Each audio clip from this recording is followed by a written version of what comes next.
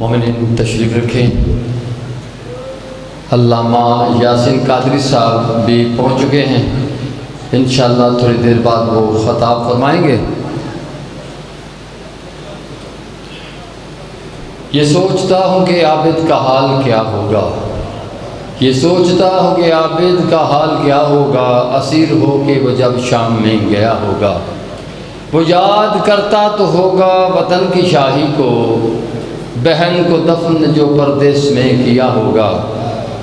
سنا ہے شام میں جاتے ہی خون رونے لگا۔ سنا ہے شام میں جاتے ہی خون رونے لگا۔ نہ جانے شمر نے اس وقت کیا کہا ہوگا۔ گلے کے توک نے عابد کو کیا جھکانا تھا۔ وہ اپنے کھوئے ہوئے لال ڈھونڈتا ہوگا۔ اب میں دعوت خطاب دے رہا ہوں۔ جناب، قبلہ عاطف عباس۔ نقوی صاحب، علامہ قبلہ عاطف عباس نقوی صاحب، آپ سرگودا ان کے بعد فوراً بعد علامہ زاگم مجتبائی صاحب خطاب فرمائیں گے اور ان کے بعد خطیب عدسن کاری یاسین صاحب جو ہیں، وہ انشاءاللہ خطاب فرمائیں گے۔ قبلہ صاحب کی آمد پر نعرہ تکبیر۔ اللہ نعرہ رسالت نعرہ حیدری برائے خوشنودی محمد و اہل بیعت محمد بلان تر صلوات۔ تھوڑا تھوڑا آگے آتے جائیں تاکہ بعد میں آنے والوں کے لیے آسانی ہو۔ بسم اللہ۔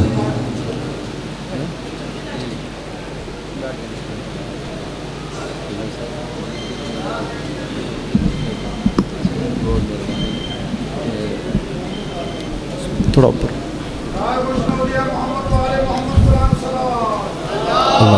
صلی علی محمد وعلا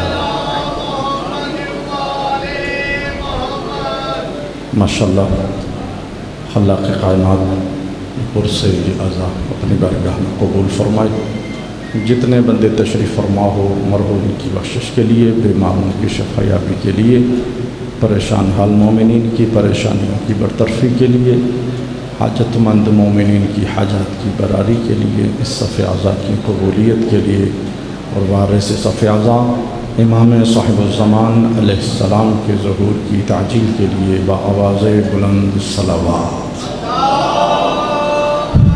صلی علی محمد وآلہ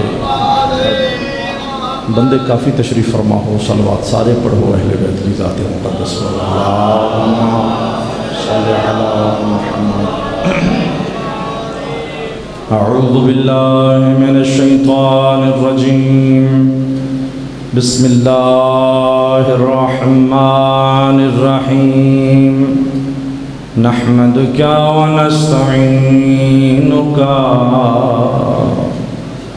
يا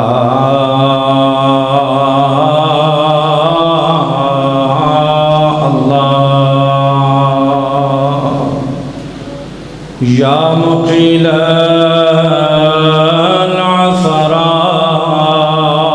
العثرات يا كاشف الكربات يا مجيب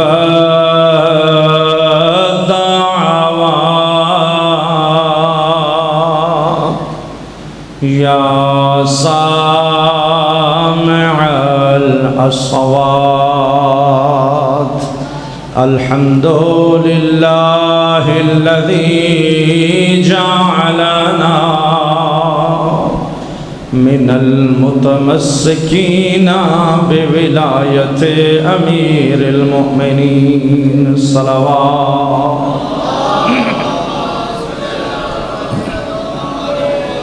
الصلاة والسلام على خير خلق الله. خير البرية وأفضل الأنبياء.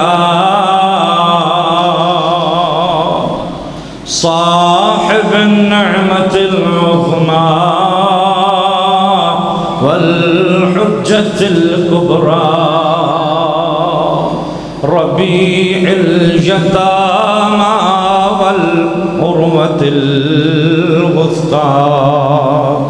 شافعي يوم الجزاء. محمد المصطفى. صلوات.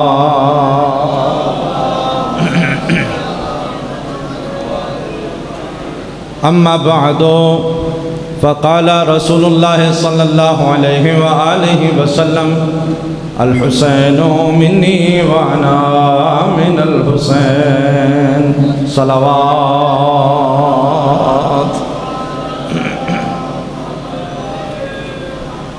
واجب الاحترام مومنین کرام، خلاق کائنات، یہ پرسہ یہ عذاب، یہ عزاداری تمام مومنین سے اور بالخصوص بانیان مجلس سے بطور اجر رسالت بارگاہ احدیت میں قبول فرمائی بزرگان گرامی عزائے مولا مظروم کربلا، امام حسین علیہ السلام کی عزاداری یہ وہ قرض ہے کہ جو اللہ نے بطور اجر رسالت تمام انسانیت پہ واجب کرا دی ہر کلمہ گو پر واجب ہے کہ حسین علیہ السلام کا غم منائے، کیونکہ حسین کسی خاص فرقے کا حسین نہیں ہے۔ توجہ، ہاتھ جتنے تشریف فرما ہو۔ حسین کسی خطے کا حسین نہیں۔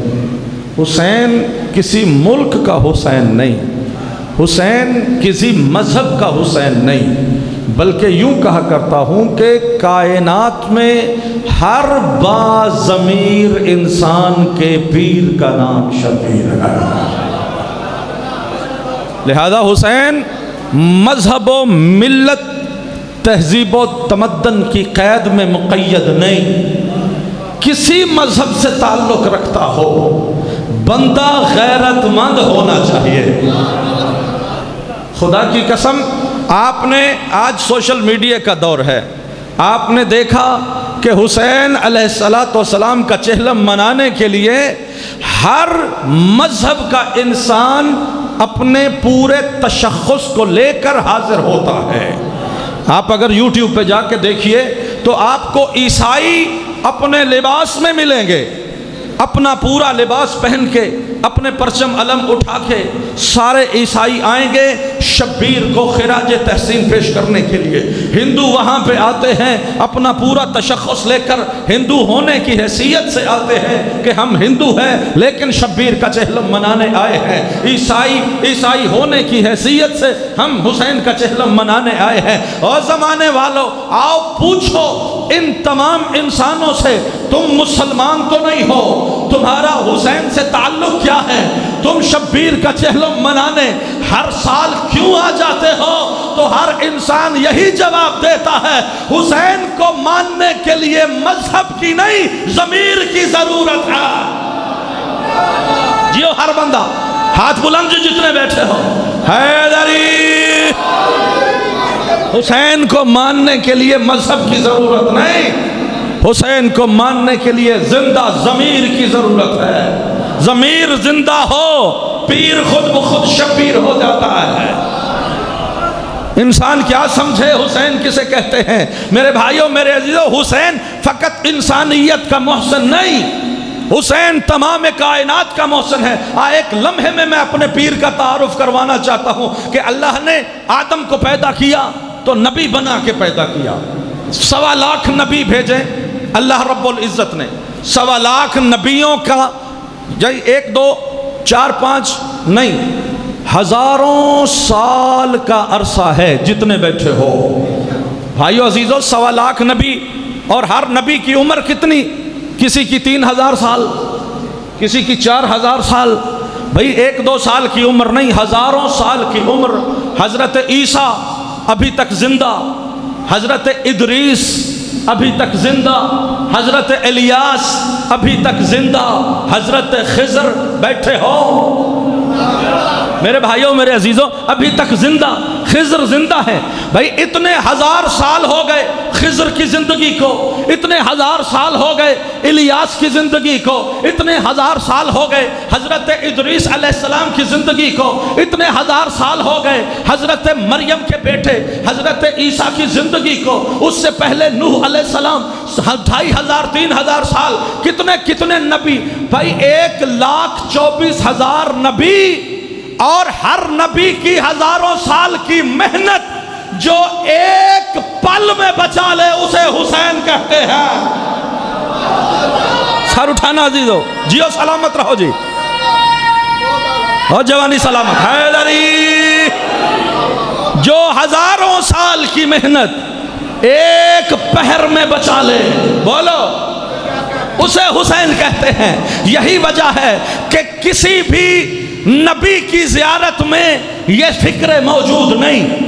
کسی امام کی زیارت میں یہ فکر موجود نہیں۔ اور زیارت کسی مولوی، کسی مومن، کسی ماتمی نے نہیں پڑھی۔ زیارت بھی امام جعفر صادق پڑھ رہے ہیں۔ اور امام جعفر صادق مولا علی کی زیارت پڑھتے ہوئے یہ جملے نہیں کہتے، مولا حسن کی زیارت پڑھتے ہوئے یہ جملے نہیں کہتے، رسول اللہ کی زیارت پڑھتے ہوئے یہ جملے نہیں کہتے، جو حسین کی زیارت کے لیے ہیں ہیں وہ بھی امام۔ زیارت حسین کی پڑھ کے کہتے ہیں، السلام علیکہ یا وارثہ آدم صفت اللہ۔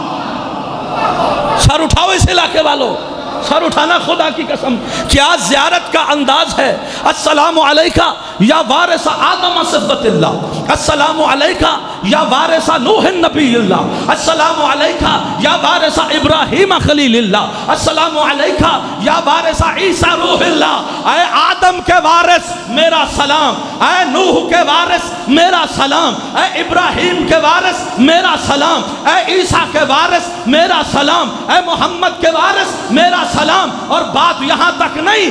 حضرت امام جعفر صادق علیہ السلام ارشاد فرماتے ہیں، کتاب کا نام ہے کامل الزیارات۔ امام صادق علیہ السلام حدیث ارشاد فرماتے ہیں، میرے مولا کہتے ہیں، لیسا ملکن مقرب ولا نبی مرسل الا وہو یستہزن من اللہ ان یزور قبر الحسین۔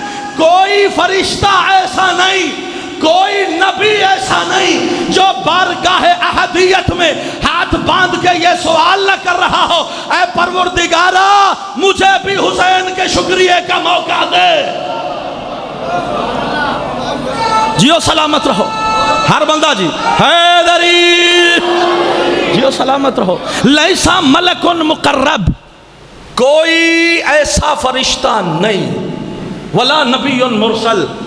اور کوئی ایسا نبی نہیں، کوئی ایسا رسول نہیں اللہ وہ یستعزن من اللہ، مگر یہ کہ ہر نبی اللہ کی بارگاہ میں ہاتھ باندھ کے مانگ رہا ہے۔ اے اللہ، مجھے حسین کی قبر کی زیارت عطا فرما۔ خدا کی قسم، دو کام ہیں جو حسین کے ہیں۔ لیکن اس ممبر کی عظمت کھا کے پوری طالب علمانہ ذمہ داری سے جملے کہہ رہا ہوں، جو آل محمد نے ارشاد فرمایا ہے، دو کام ہیں جو حسین کے ساتھ منصوب ہیں اور دونوں ایسے کام ہیں کہ جتنا بڑا گناہ گار آ جائے، حسین لمحے میں ہور بنا دیتا ہے۔ سر اٹھانا عزیزو، خدا کی قسم یہ جملے ہیں کہ جتنا بڑا گناہ گار ہو میں کہتا ہوں کوئی کتنا بڑا گناہ گار ہوگا۔ ہور سے بڑا گناہ گار کوئی نہیں۔ جو ذمہ دار ہو شبیر کے قتل کا، اسے بھی ہور بنا دیتا ہے۔ جتنا بڑا گناہ گار ہو، یہ دو کام کر لے۔ معصوم گارنٹی دیتے ہیں کہ جنت کے وارث ہم ہیں۔ اور دونوں کام کیا ہیں؟ جتنے بیٹھے ہو۔ دونوں کام کیا ہیں؟ ایک ہے شبیر کی ازاداری اور دوسرا ہے شبیر کی سواری میرے بھائیو، عزیزو، جتنے تشریف فرما ہو۔ بھائی، میں گارنٹی لے کے بات کر رہا ہوں۔ میں ایک ایک لفظ، ایک ایک لفظ روایت کا ذمہ دار ہوں۔ میں آپ کی خدمت میں یہ جملے زیارت کے اور آپ کی خدمت میں تمام روایت کے جملے عرض کروں گا کہ معصوم کا ارشاد ہے کہ جو حسین کا ازادار ہے وہ جب حسین علیہ السلام کے لیے، جملہ آپ نے سنا ہوا ہے، کہ بندہ حسین علیہ السلام پہ رو لے اور پھر فرمایا نہیں، یا کسی کو رلا دے، فرمایا نہیں، جو رونے کی شکل بنا دے۔ سر اٹھاؤ سر اٹھاؤ۔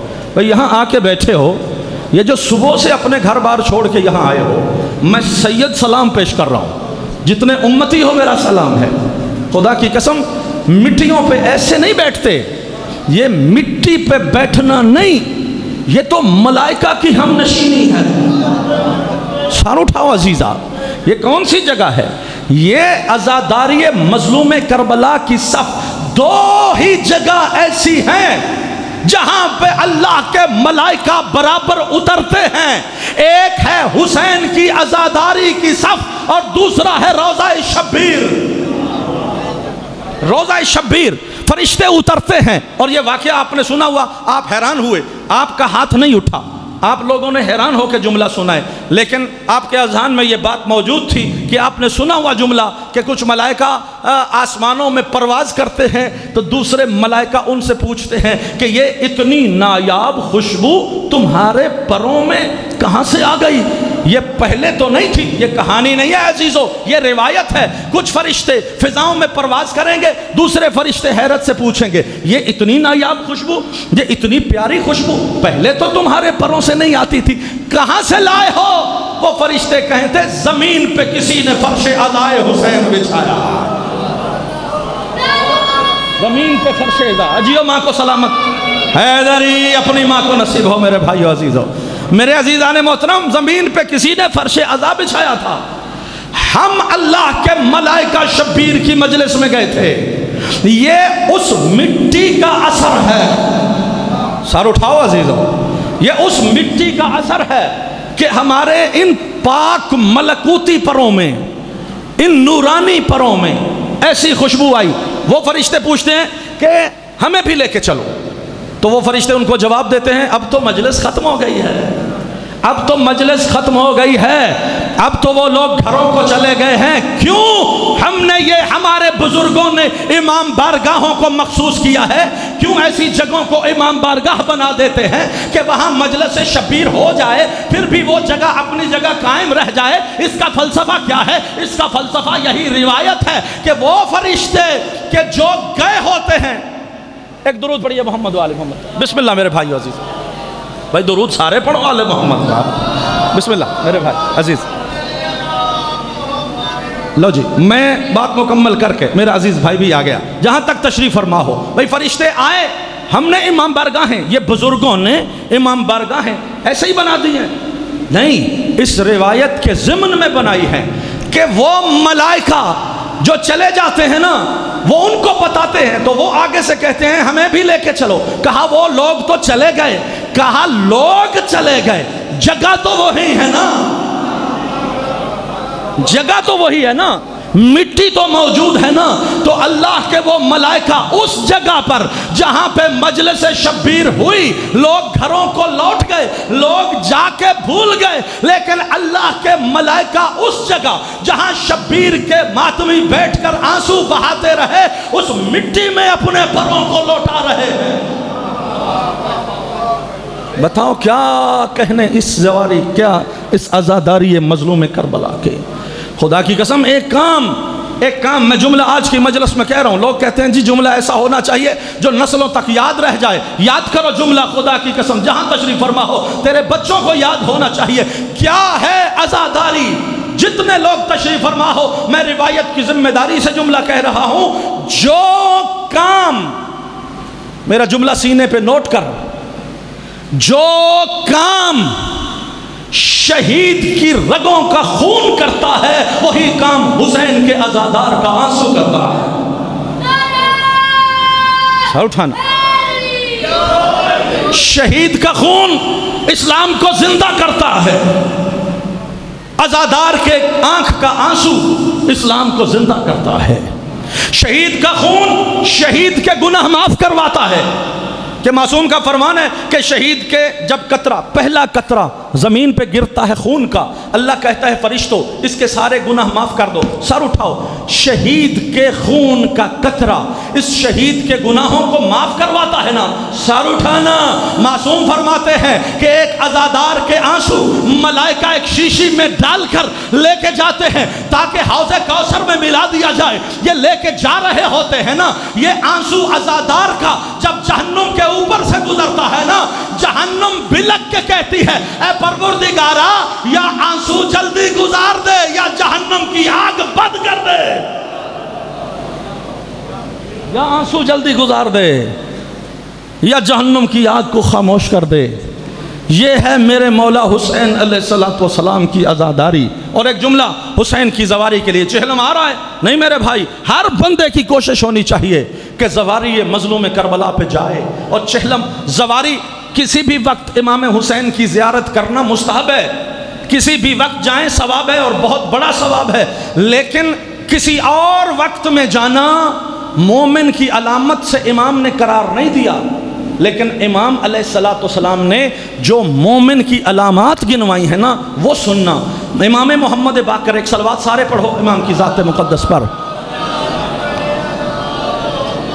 سر اٹھانا عزیزہ نے محترم، امام باقر فرماتے ہیں، مومن کی علامات میں یہ ہیں کہ مومن شب و روز میں اکامن رکت نماز پڑھتا ہے۔ کتنے رکت جی؟ کس نے کہا ہے؟ امام نے فرمایا کہ مومن کی علامت یہ ہے کہ شب و روز میں اکاون رکت نماز پڑھتا ہے۔ یہ اکاون کیسے ہوتی ہے؟ تمام پانچ وقت کی نمازیں تمام تر مستحبات کے ساتھ، نوافل کے ساتھ پڑھنا اور نماز شب بھی پڑھنا۔ نماز شب، نماز تحجد یہ پورا پڑھیں تو اکاون رکت نماز ہوتی ہے۔ امام فرماتے ہیں کہ شیعہ کی علامت یہ ہے۔ شیعہ دیکھنا ہے، اس کی علامت کیا ہے؟ شیعہ کی علامت، امام یہ کہتے ہیں کہ شیعہ کی علامت یہ ہے کہ اگر دیکھو تو پانچ وقت کا نمازی نہیں ہوگا۔ اکامن رکت نماز پڑھنے والا شیعہ۔ یہ امام کا جملہ ہے۔ اچھا دوسرا، انگوٹھی بائیں ہاتھ میں نہیں پہنے گا، دائیں ہاتھ میں پہنے گا۔ امام نے فرمایا، یہ شیعہ کی علامت ہے۔ کوئی اور کہیں بھی انگوٹھی پہن سکتا ہے، لیکن شیعہ دائیں ہاتھ میں انگوٹھی پہنتا ہے۔ یہ شیعہ کی علامت۔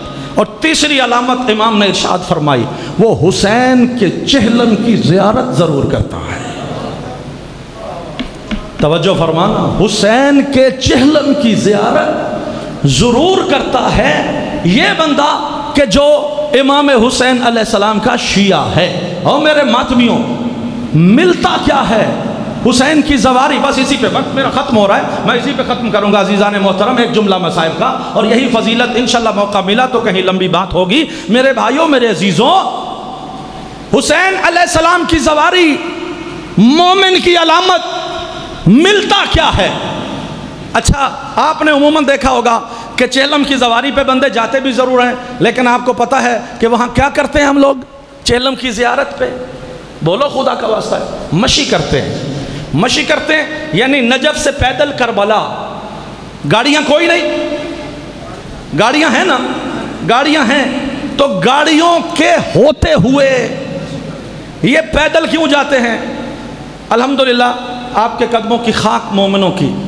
بی بی معصومہ کم کے حرم سے لے کر کربلا تک مولا نے پیدل کی زباری کا شرف عطا کیا ہے۔ ایران بی بی معصومہ کم اور عراق امام حسین کا روزہ۔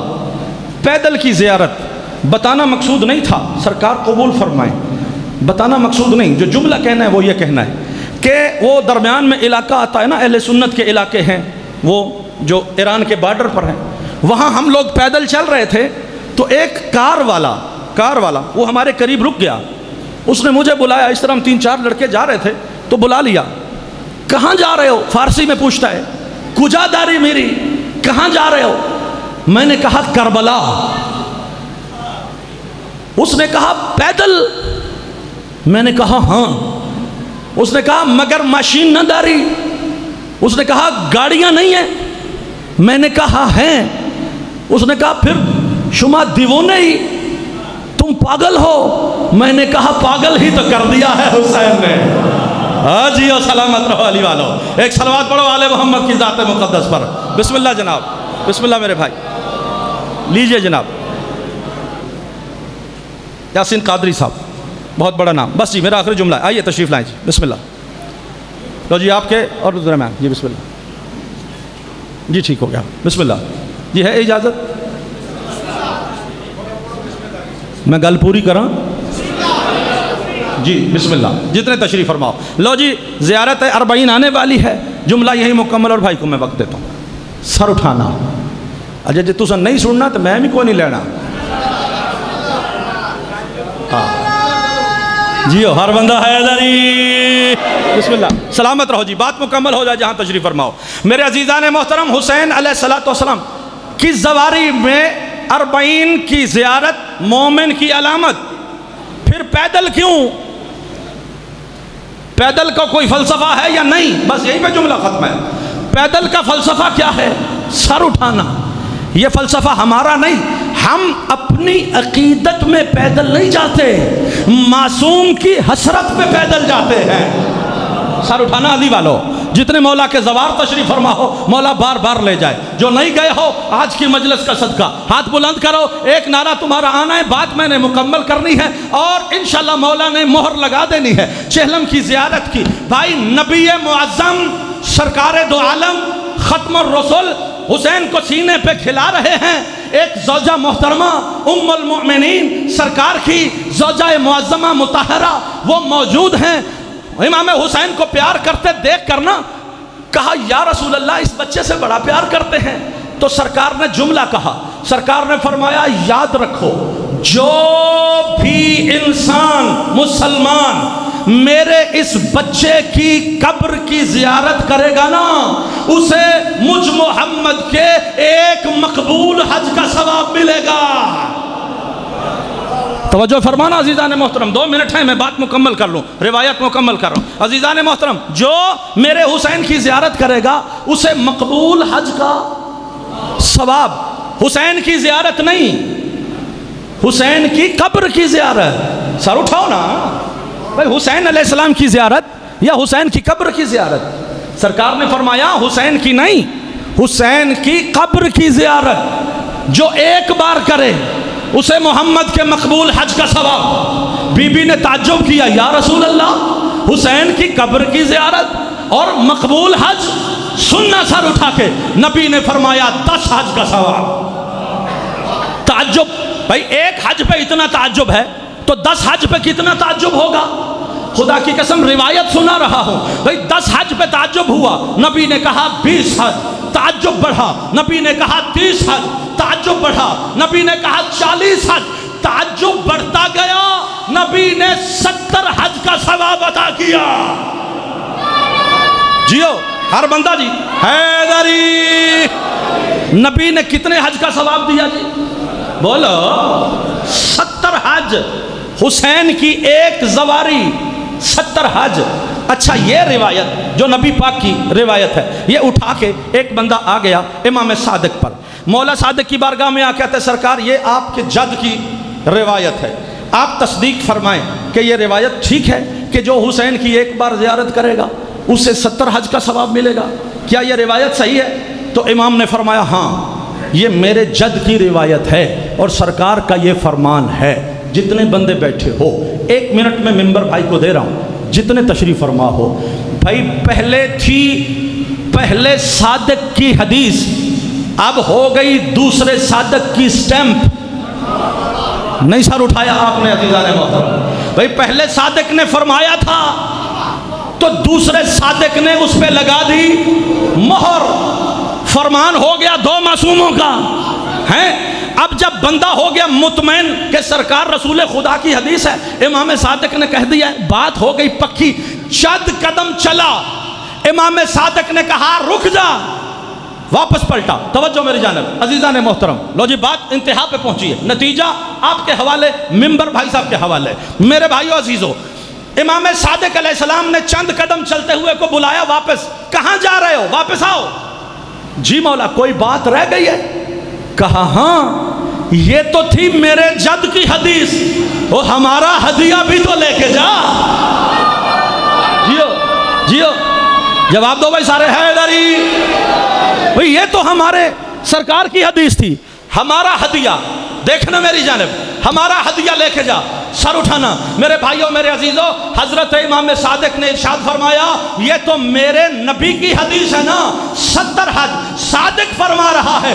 جو بھی بندہ حسین کی ایک زیارت کرے، اسے ستر نہیں، سات سو نہیں، سات ہزار نہیں، ستر ہزار حج کا ثواب دیا جائے گا۔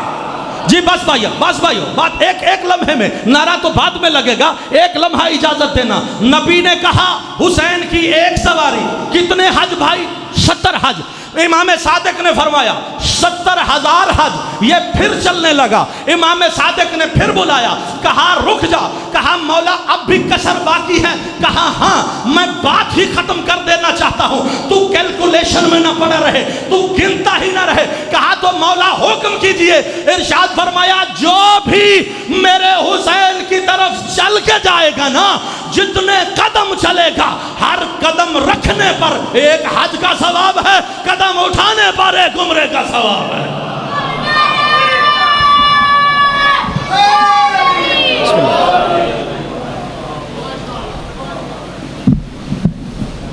سامعین، مومنین، قاری یاسین صاحب کی پیشوانی کے لیے، تھوڑی دیر کے لیے ذاکر اہل بیت سکلین عباس خطا فرمائیں گے۔ اور ان کے فوراً بعد